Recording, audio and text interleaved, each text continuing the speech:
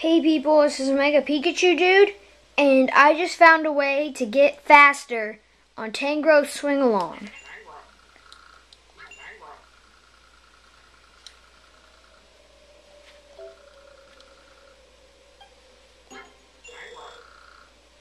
And this is how you do it.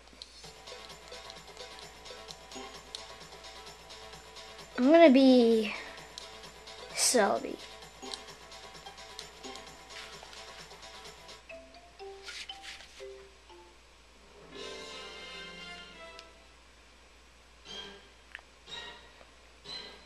Watch this.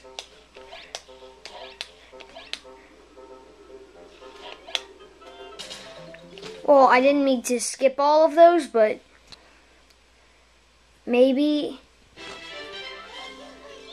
But the trick is just to like do or just do one and then release at a at the lowest point you can. So this is Mega Pikachu dude signing out. Please rate, comment, or subscribe. Thank you.